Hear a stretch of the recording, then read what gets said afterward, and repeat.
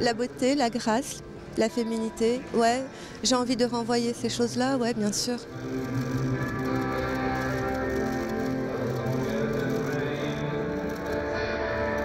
C'est une harmonie que je recherche entre la force et la tendresse constamment, mais parce que je travaille de cette façon-là, naturellement en fait, de trouver le bon équilibre en fait d'un vêtement, d'une silhouette, d'une édition de collection.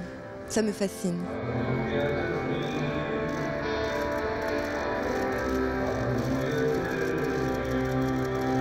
C'est une variation de rose pâle, de rose tendre, de rose poudré, une variation de blanc, une variation de noir, de nuit, d'encre. En fait, on a plusieurs reliefs euh, grâce à une couleur qui semble revenir mais qui n'est jamais la même. Ça me fascine en fait. C'est comme une gamme de musique, quoi. C'est des notes.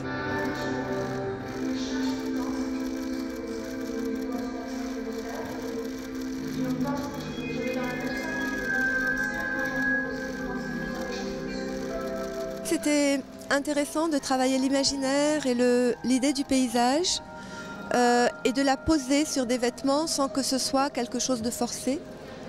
Ça m'a énormément intéressé de travailler de cette façon-là.